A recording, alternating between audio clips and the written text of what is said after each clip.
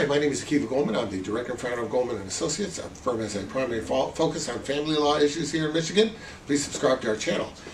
Support is something that the law takes a great interest in, both child support and spousal support. It takes such a great interest in that non-payment of support is a crime.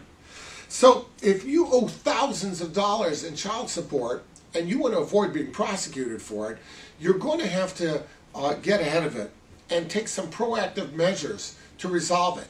You can either try to resolve it with the recipient, try to work out a payment plan or something like that, or go to the court yourself before they come knocking on your door and say, look, I know I'm going to owe a lot of money, but I just lost my job. I need the support reduced.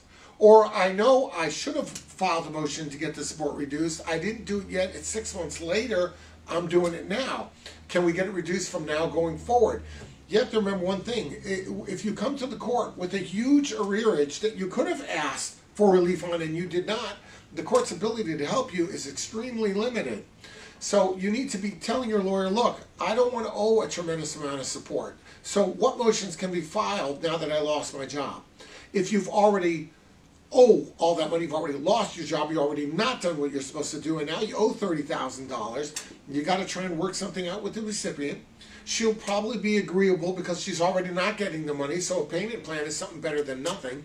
In the alternative, you go before the court and you file a motion to get back on track, to pay what you're supposed to pay and maybe a little extra toward arrearage. The court is going to be more receptive to your approach if you come voluntarily than if they have to chase you.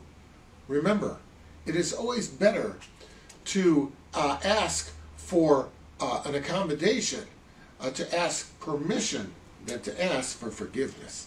If you have any questions about that, reach out. We'll be glad to help you out.